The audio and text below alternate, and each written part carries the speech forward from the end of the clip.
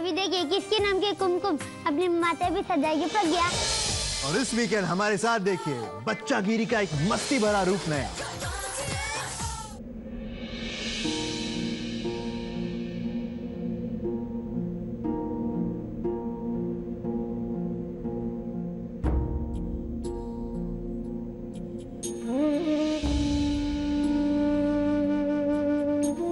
तुम यहाँ पे क्या कर रही हो प्रज्ञा? प्लीज़ मुझे अकेला छोड़ दो। तुम वापस जाओ। वापस जाने के सारे दरवाजे बंद कर आई हूँ। नौकरी छोड़ दी मैंने भी। तुम पागल हो गई हो? तुमने अपनी नौकरी क्यों छोड़ दी? क्योंकि तुमने छोड़ दी। क्या? मेरे लिए तुमने अपनी नौकरी छोड़ दी? क्या तुमने एक भी बार अपने परिवार के बारे में नहीं सोचा मतलब? कहाँ से लाओगी पैसे? तुमने भी तो नहीं सोचा। अपनी इज़्ज़त के लिए ना। मेरे लिए भी पैसे की अहमियत तुम्हारी इज़्ज़त से ज़्यादा नहीं है। जहाँ जहाँ तुम जैसे सच्चे इंसान की इज़्ज़त ना हो वहाँ मैं काम नहीं कर सकती। और पैसों का क्या है? दुनिया की आखिरी नौकरी तो थी नहीं। कहीं और नौकरी मिल जाएगी। तुम नहीं रोकोगे मुझे। अगर तुम मेरी परवाह करते हो तो।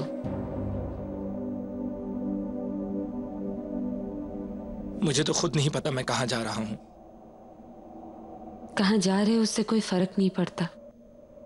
साथ कौन जा रहा है वो इंपॉर्टेंट है।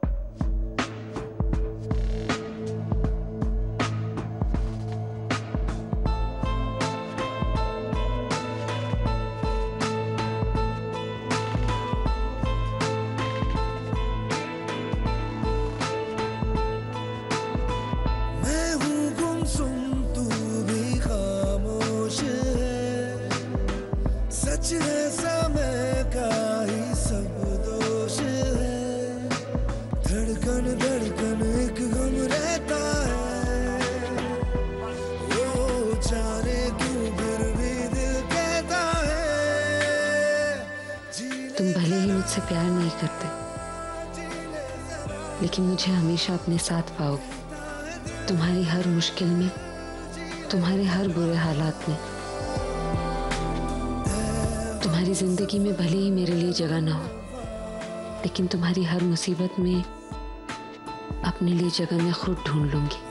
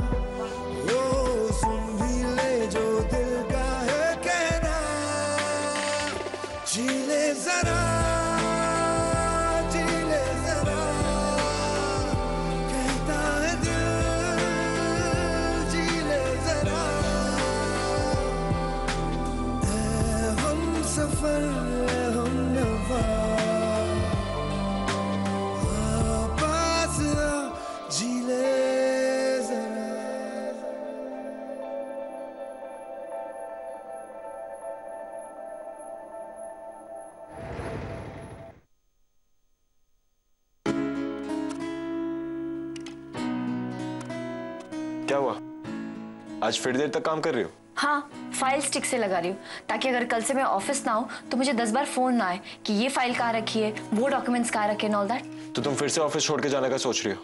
अगर आप मजबूर करोगे तो छोड़ना ही पड़ेगा। जरा सी मुसीबत क्या आ जाती है? सब कुछ छोड़ छोड़ के भागने की आदत है क्या तुम्हें?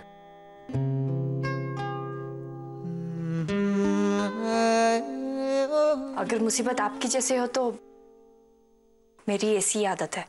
यू नो व्हाट कभी कभी मुझे तुम्हारे बॉयफ्रेंड पे तरस आता है बेचारा कैसे झेलता होगा तुम मेरा कोई बॉयफ्रेंड नहीं है। ओ रियली वैसे तुम इतनी बुरी भी नहीं दिखती कि तुम्हारा आज तक कोई बॉयफ्रेंड ही नहीं बना? वैसे आप भी इतना कुछ खास नहीं दिखते लेकिन कितनी सारी गर्लफ्रेंड्स है आपकी? इतनी सारी गर्लफ्रेंड्स है मतलब? मतलब आपको क्या लगता है मैं अंधी हूँ मुझे दिखाई नहीं देता? इतनी सारी नई लड़कियाँ रोज आपके आगे पीछे घूमती रहती है। आप उनको इग्नोर करते रहते हो उनको गालियाँ देते रहते हो उनको डांटते रहते हो। जो दिखता है ना ज़रूरी नहीं वही सच हो। अच्छा। तो ये सारी लड़कियाँ आपकी दोस्त है? गर्लफ्रेंड्स नहीं? ना दोस्त है ना गर्लफ्रेंड है। अरे वो सब तो एनीवे फॉरगेट इट ओ ना दोस्त है ना गर्लफ्रेंड है। You mean to say time pass right तो इसे मैं शॉर्ट टर्म रिलेशन कहूँ या वेरी शॉर्ट टर्म रिलेशन तुम्हें जो सोचना है सोचो। आई डोंट केयर मैं भी ना इससे पर्सनल बातें क्यों करी हूँ? आई एम सो स्टूपिड बहुत लेट हो गया है। सुरेश को बुला लेती हूँ।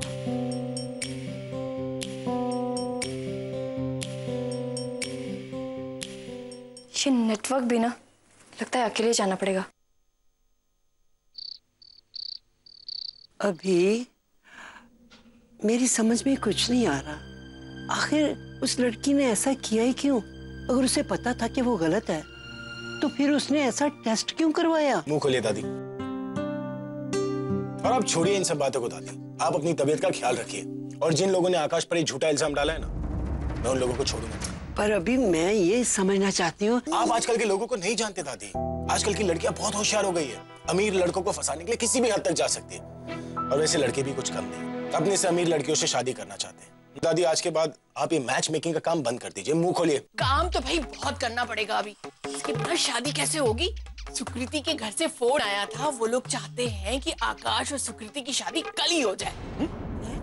ऐसे कैसे हो सकता है? इतनी जल्दी? अच्छा है ना माँ जी आप इतनी बिज़ी हो जाएँगी कि आपको टेंशन लेने का टाइम ही नहीं मिलेगा। कल तक जो लोग मेरे बेटे को सूली पर चढ़ाने की साजिश कर रहे थे भगवान की दया से अब आपका वही पोता घोड़ी चढ़ेगा। है ना खुशी की बात? भाई। अरे आकाश। कॉन्ग्रेचुलेशन थैंक यू भाई ये ले मुँह मीठा कर।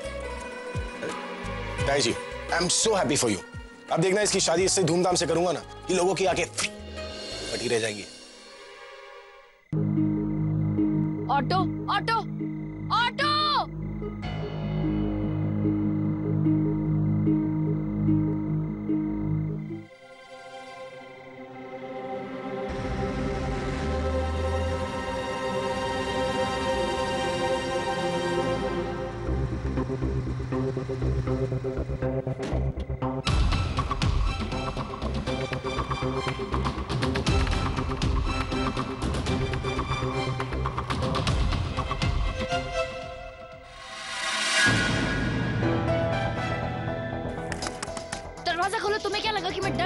लेकिन हेलो मिस्टर मैं डरने वाली में से नहीं हूँ। तुम्हारी गाड़ी का ना नंबर नोट किया मैंने और कल पुलिस स्टेशन में जाके ना तुम्हारा नंबर दे दूँगी और चक्की पीसते रहोगे तुम कल।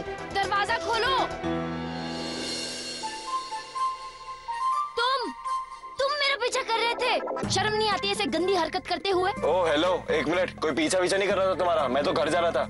वो तो मैंने तुम्हें देखा, केली तुम जा रही हो और वो शराब हुआ भिखारी तुम्हारे पीछे पड़ रहा है। और तुम्हें लिफ्ट ऑफ़र करता तो तुम्हें लगता है कि मैं तुम्हें लाइन मार रहा हूँ। दूर से तुम्हारी मदद करता हूँ बट नहीं।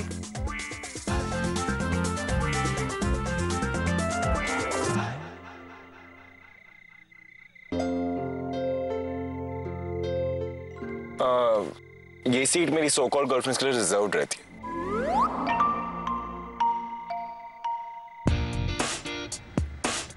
तो तुमने मुझसे झूठ बोला कि तुम्हारा कोई बॉयफ्रेंड नहीं है। अभी तो तुम्हारे पीछे पड़ा था। शराब ओके नहीं सीरियसली वो तो तुम्हारे प्यार में लिटरली मत होश होकर झूम रहा था।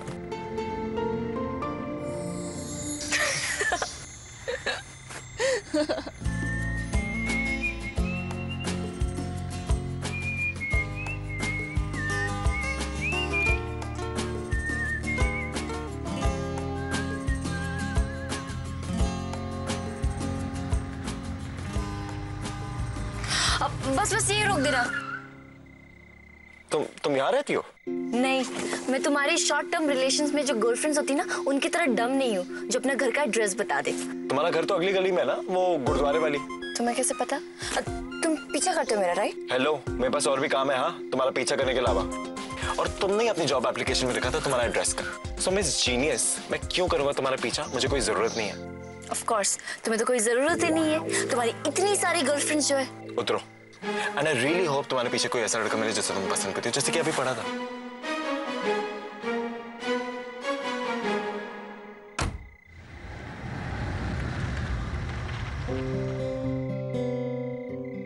मेरा बॉयफ्रेंड ना बिल्कुल इसी की तरह होना चाहिए। थोड़ा कह रही फन लविंग जो मेरे साथ बहुत हंसे। सिर्फ़ एक क्वालिटी इसके जैसी नहीं होनी चाहिए। और वो है लड़कियों को डबल क्रॉस करना। इडियट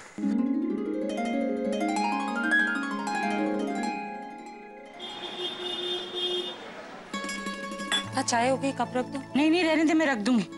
अच्छा सुन प्रज्ञा तू एक काम कर सकती बेटा। इस बार तू कॉलेज से एडवांस सैलरी मांग लेगी। तुझे तो पता है ना बेटा कि पिछले दिनों कितना खर्चा हो गया घर में। और फिर वो रचना के कारण इतनी मुश्किलें आ गई थी कि मैं ना हॉल पे ध्यान ही नहीं दे पाई। एक भी बुकिंग नहीं हुई तू अगर सैलरी के लिए बोल देगी ना तो कम से कम बिजली पानी और फ़ोन का बिल तो मैं दे सकती नहीं बेटा इतना परेशान होने की ज़रूरत नहीं अगर नहीं मिल सकती तो कोई बात नहीं हम अगले महीने दे देंगे। थोड़ी पेनल्टी लगेगी तो लगने दे। नहीं माँ वो क्या हुआ? माँ मैंने सोचा था आपको नहीं बता पहले तो घर में घुसते ही हमेशा सारी बातें बता देती थी। अब ऐसी कौन सी बात है जो तू बताना ही नहीं चाहती? सुरेश ने नौकरी छोड़ दी।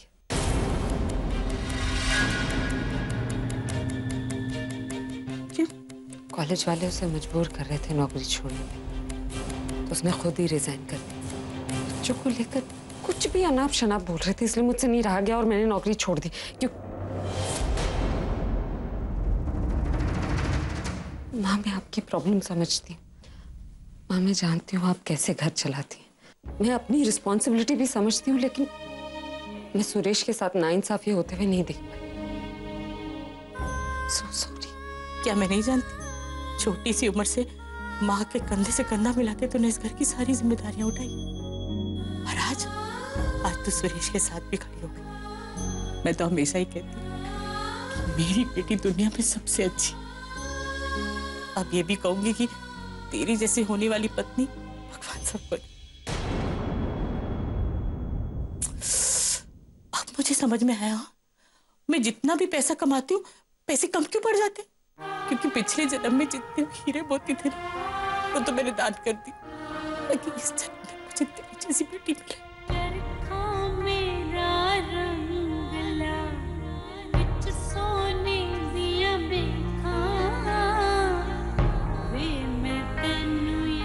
रो मत।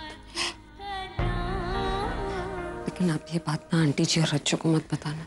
वो लोग वैसे इतना परेशान है ना और परेशान हो जाए नहीं बताऊँगी। लेकिन मैं भी तेरे से बहुत नाराज़ हूँ। पहले तो भाग कर आकर माँ को सब कुछ बता देती थी। और इस बार अगर तूने आज भी सच नहीं बताया होता ना तो मैं यही समझती कि तुझे विदा करने से पहले तू पराई हो गई।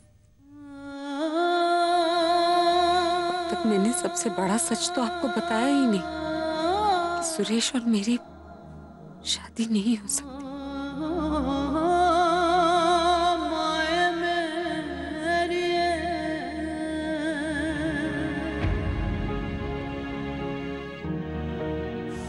Ma'am, see this.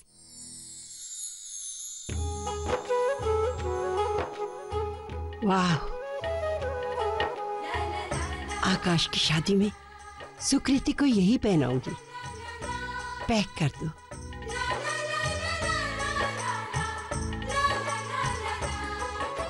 ये ड्राइवर ने पता नहीं कहाँ गाड़ी पार्क कर दी। लगता है इस बेचारी को सड़क क्रॉस करने से डर लग रहा है।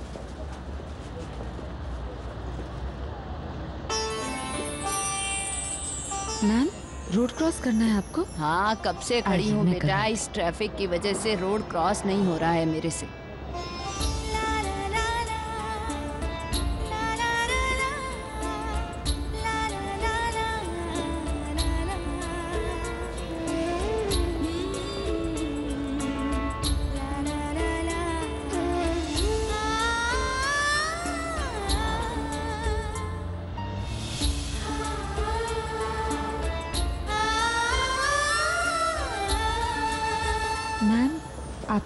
क्रॉस करना है?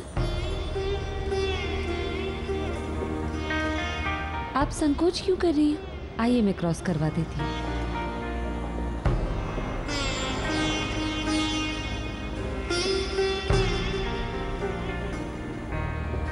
तुम्हारा नाम क्या है बेटा? मैम प्रज्ञा।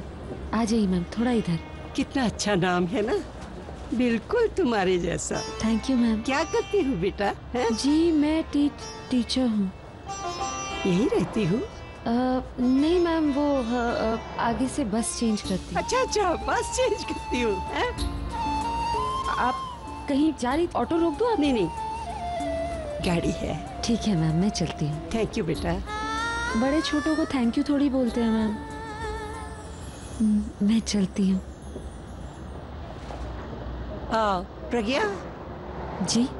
बड़े छोटों को थैंक्स तो नहीं कहते? लेकिन बड़े छोटों को आशीर्वाद तो दे सकते हैं ना? जीती रहो। भगवान तुम्हें बहुत बहुत खुशियाँ दे। और इसी तरह लोगों की निष्काम सेवा करती रहो। चलती हूँ।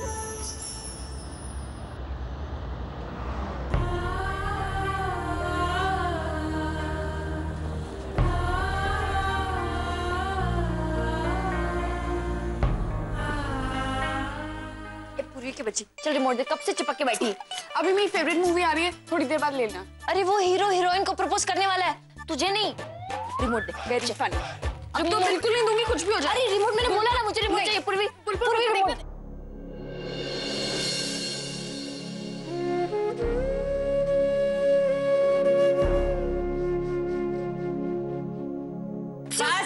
झगड़ा बंद करो। जब देखो चिड़ियों की तरह ची ची ची ची ची ची ची ला रिमोट दे। पूरी रिमोट दे। अपनी पसंद का एक भी प्रोग्राम नहीं देखने दूँगी मैं तुझे। रचना तू ले बेटा। आज तू अपनी पसंद के प्रोग्राम देख। हाँ हाँ अब तो उसी को बोलोगी। आपकी नई लाडली जो बन गई है। हाँ कम से कम तुम्हारी तरह लड़ती तो नहीं रहती ना। उसी को दूँगी मैं। रचना ले। बेटा तू अपनी पसंद का प्रोग्राम देख ले। ये लोग तो ले पकड़।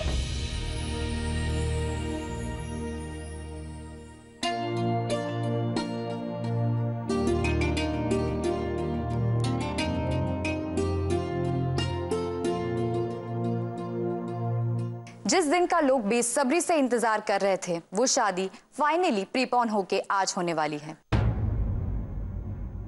मशहूर रॉक स्टार अभी की कजिन की शादी की डेट उनके एस्ट्रोलॉजर मोहित शास्त्री ने बदल दी है।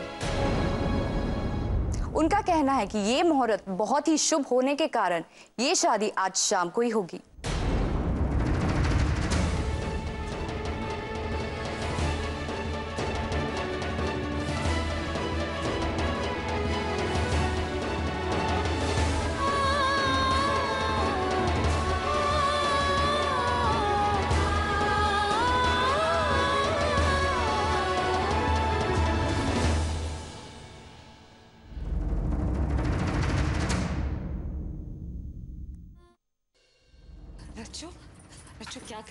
ऐसे नहीं कर वही जो मुझे बहुत पहले करना चाहिए था।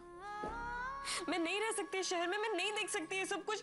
I can't take it anymore Rachu Rachu एक बार शांति से मेरी बात प्लीज़ सुनना भाभी मुझे आज मत रोकना।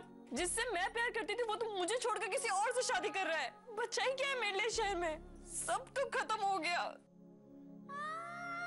I just hate that man वो तो अपनी लाइफ में ऐसे खुशी जैसे कभी कुछ हुआ ही नहीं। कभी मुझसे मिला ही नहीं। बच्चों तेरे साथ कुछ नहीं होगा ठीक है?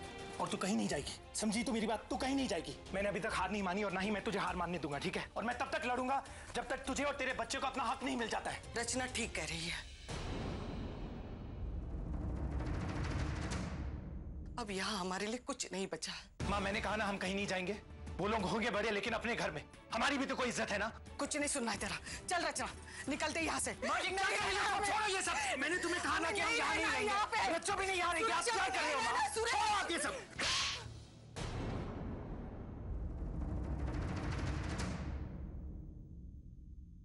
चुप कर।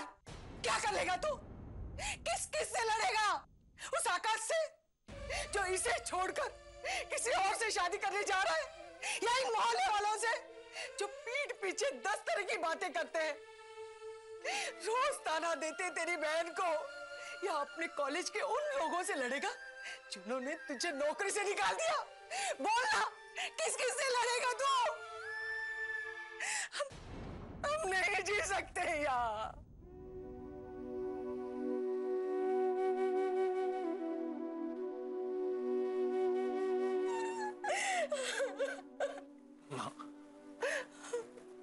जैसा कह रहे हो, वैसा ही होगा। हम यहाँ से चले जाएँगे। नहीं रहेंगे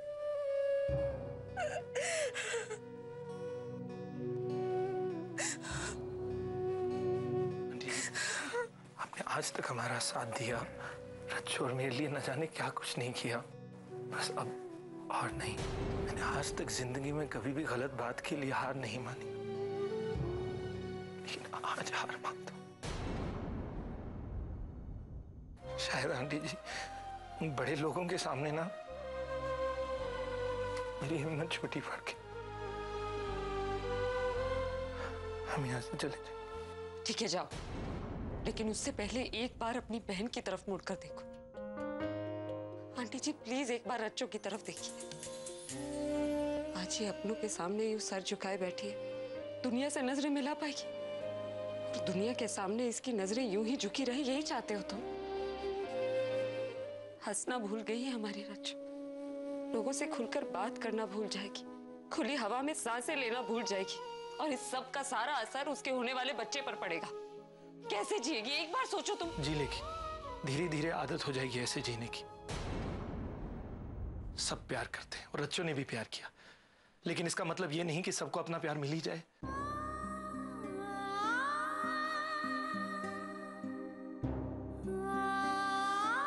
शायद रच्चू की किस्मत में यही लिखा है। लेकिन यहाँ रहकर मैं उसके प्यार की बेइज्जती नहीं होने दूँगा। उसकी इज़्ज़त का तमाशा नहीं बनने दूँगा। सुरेश तुम एक बार प्लीज़ मुझे एक आखिरी मौका दो। मुझे एक बार रच्चू को आकाश के घर बस बस बस। बच्चों कहीं नहीं जाएगी। और मैंने फैसला कर लिया है कि हम यहाँ से चले जाएँगे।